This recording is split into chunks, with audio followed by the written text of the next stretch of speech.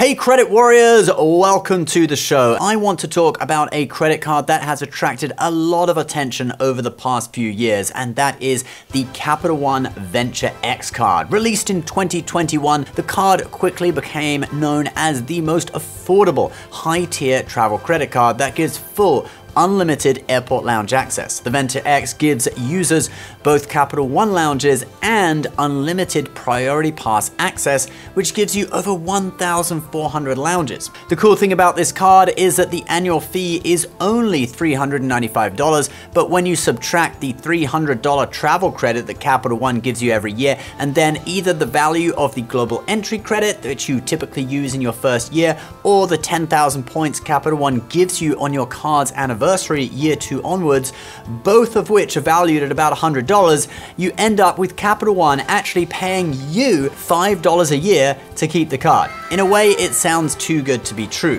Now, last time we had a deal this good was the Chase Sapphire Reserve back in 2016, but with that card, they slowly chipped away at the benefits. It's still a great card, but it was probably costing a lot of money, so they started changing things. And one of the things was no longer allowing you to earn points on spending that triggered their $300 travel credit. Now, Capital One actually did almost exactly the same thing last year as one of three changes that they've made so far to devalue the Venture X card and presumably make it cheaper for the bank. We will go through all of those changes in this video, and the third change is one that literally just happened. So first of all, back in December 2022, Capital One Venture X holders lost Priority Pass restaurant access. Now this is a benefit where you can go to a restaurant in the airport terminal and Priority Pass would give you a credit towards dining there. It's usually $28 for the card holder and another $28 for one guest, so a maximum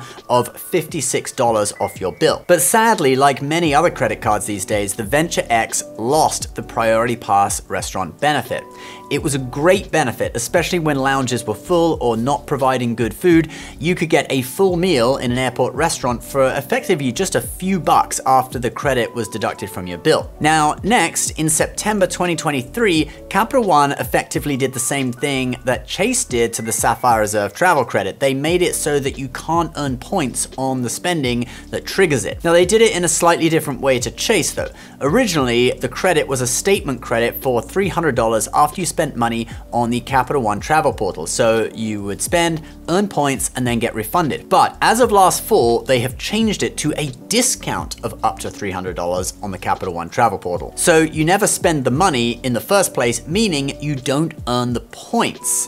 It's a sneaky little move, but considering the card offers 5 points per dollar on flights and 10 points per dollar on hotels and car rental through Capital One Travel, it saves Capital One between 1,500 and 3,000 points a year per card member. And if you're looking at points being worth a minimum of 1 cent per point, that is between $15 and $30 per card member per year that is saved for the bank. Or conversely, $15 to $30 that you miss out on on redeemable points points value each year. Now let's look at the change that just happened. Capital One has added fine print to the Venture X's terms stating that the Hertz President Circle car rental status, that is their highest status that the card provides, will end later this year. Here's what they say eligible cardholders will remain at that status level through December 31st, 2024, at which point they will be reverted to the level commensurate with Hertz's standard usage policies. Commensurate, that's a new word for me. Okay, I've never seen that before. Anyway,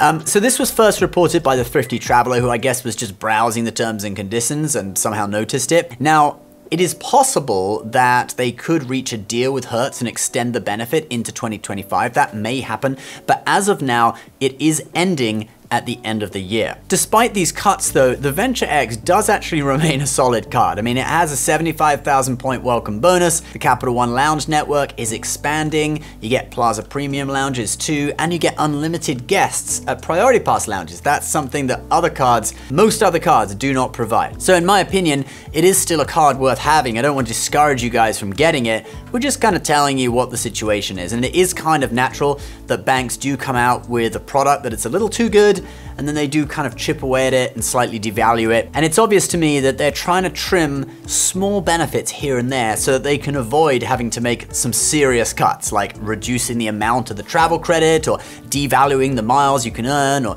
reducing the multipliers or whatever. But if Hertz status was important to you, then there are other cards on the market that give you that benefit. If after all that you are still interested in the Venture X, which I'm sure some people still are, there are many positive factors about the card after all.